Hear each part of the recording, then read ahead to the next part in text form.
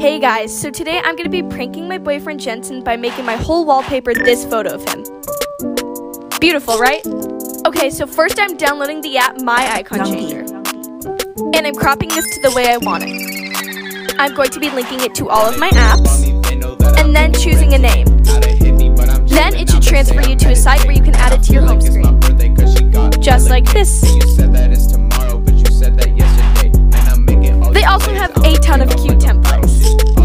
Next, I'm downloading Magic Widgets.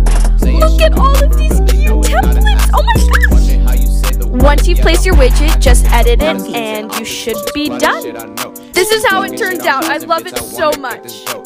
Let's see what Jensen thinks.